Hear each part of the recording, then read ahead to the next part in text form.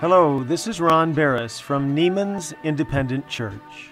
I'm reading today from 1 Kings chapter 19, the storm of fear and doubt that Elijah the prophet experienced.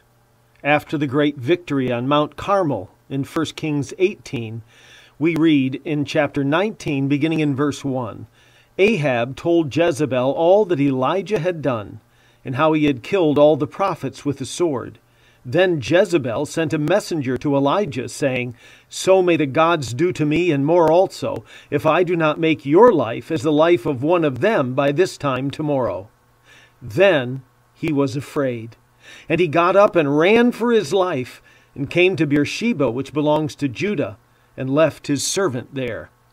But he himself went a day's journey into the desert, and came and sat down under a broom tree.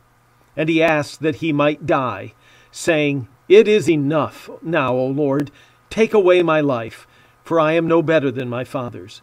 And he lay down and slept under the broom tree. And behold, an angel touched him and said, Arise and eat. And he looked, and behold, there was at his head a cake baked on hot stones and a jar of water. He ate and drank and lay down again. And the angel of the Lord came again a second time and touched him and said, Arise and eat, for the journey is too great for you. And he arose and ate and drank and went in the strength of that food forty days and forty nights to Sinai, the mountain of God. And there he came to a cave and lodged in it. And behold, the word of the Lord came to him and said, What are you doing here, Elijah? And he said, I have been very jealous for the Lord, the God of hosts for the people of Israel have forsaken your covenant, thrown down your altars, killed your prophets with the sword, and I, even I only, am left, and they seek my life to take it away. And he said, Go out and stand on the mountain before the Lord. And behold, the Lord passed by, and a great strong wind tore the mountains and broke in pieces the rocks before the Lord. But the Lord was not in the wind after the wind and earthquake. But the Lord was not in the earthquake. After the earthquake, a fire. But the Lord was not in the fire. And after the fire, the sound of a still small voice. And when Elijah heard it, he wrapped his face in his cloak, and went out and stood at the entrance of the cave. And there came a voice to him, saying, What are you doing here, Elijah? He said, I have been very jealous for the Lord, the God of hosts, for the people of Israel have forsaken your covenant, thrown down your altars, killed your prophets with the sword, and I, even I only, am left, and they seek my life to take it away. And the Lord said to him, Go, return on your way to the desert of Damascus, and when you arrive, you shall anoint Hazael to be king over Syria, and Jehu the son of Nimshi you shall anoint to be king over Israel. And Elisha, the son of Shaphat, of Abel Meholah, you shall anoint to be prophet in your place. And the one who escapes from the sword of Hazael shall Jehu put to death, and the one who escapes from the sword of Jehu shall Elisha put to death. Yet I will leave seven thousand in Israel, all the knees that have not bowed to Baal. Elijah was consumed in the storm of fear and doubt. Well, it had a foundation for it. Jezebel was a wicked, bloodthirsty queen, and she often made her threats come to pass.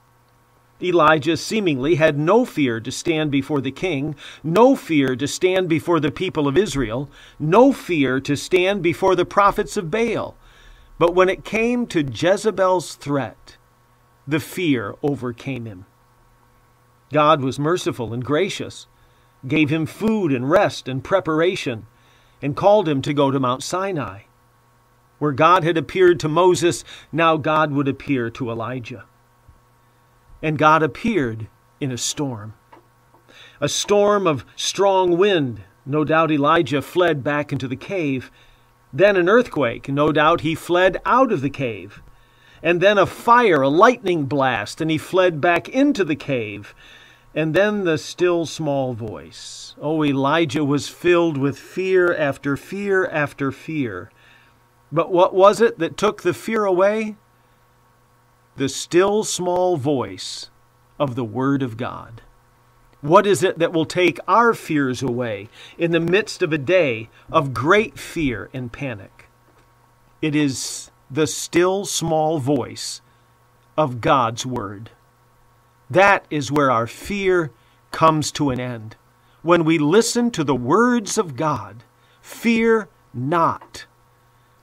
I will help you, says the Lord of hosts. Lord, we thank you that we find relief from our fear in your word. May we heed it today, we pray, for your glory. In Jesus' name, amen. Standing on the promises that cannot fail, when the howling storms of doubt and fear assail, by the living word of God I shall prevail, standing on the promises of God. Standing, standing, standing on the promises of God, my Savior.